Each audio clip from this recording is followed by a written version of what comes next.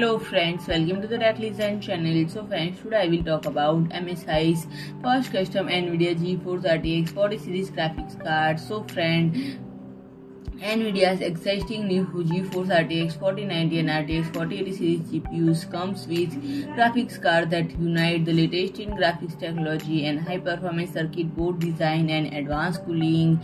And is powered by new ultra-efficient NVIDIA Ada Lovelace architecture. The third generation of RTX GeForce RTX 40 series graphics card are beyond fast, giving gamers and creators a quantum leap in performance and many more leading platform capabilities. And friend, these massive advancement in GPU technology is the gateway to the most immersive gaming experience, incredible AI features, and the fastest content creation workflows. And friends, these GPUs push state-of-the-art graphics into the future. And friends.